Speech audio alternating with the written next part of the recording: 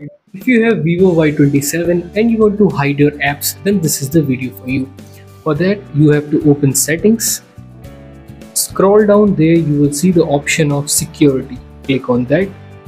Again, scroll down there, you will see the option of encryption, privacy and app encryption. Click on that. Now you have to set a 6 digit privacy password. You can change it to 4 digit password or pattern as well.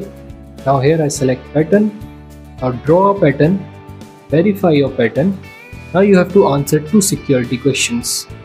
After answering these questions, click on done. Now click on app hiding. For example, I want to hide Facebook, then enable Facebook and then click on OK. Now to access those hidden apps, you have to enable view hidden apps here. Now if you want to access your hidden apps, come to your home screen and swipe up by using two fingers. It will open your hidden apps and ask for that password.